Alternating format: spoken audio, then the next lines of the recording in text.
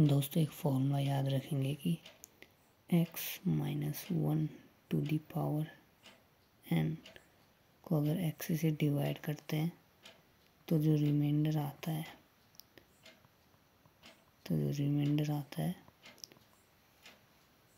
वो हमेशा होता है minus one to the power n ठीक है?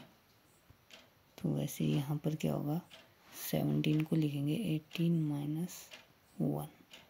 इसकी पावर कितनी है? Two hundred. इसको जब डिवाइड करेंगे एटीन से तो रिमाइंडर क्या आएगा? वो आएगा minus one to the power n n क्या है? Two hundred.